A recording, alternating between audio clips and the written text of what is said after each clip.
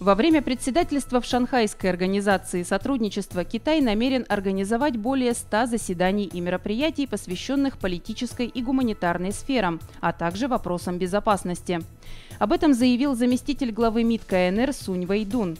В рамках Года устойчивого развития ШОС Китай сделает упор на восьми ключевых областях, среди которых борьба с бедностью, продовольственная безопасность, здравоохранение и цифровая экономика. Шанхайская организация сотрудничества – это самое масштабное региональное международное объединение в мире, которое за 23 года существования прошло непростой путь развития.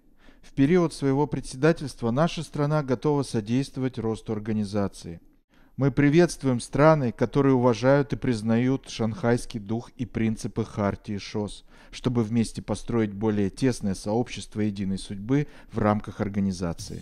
Сунь Вэйдун подчеркнул, что в рамках председательства в ШОС Китай намерен укреплять практическое сотрудничество и вносить вклад в достижение мира и общего процветания на Земле.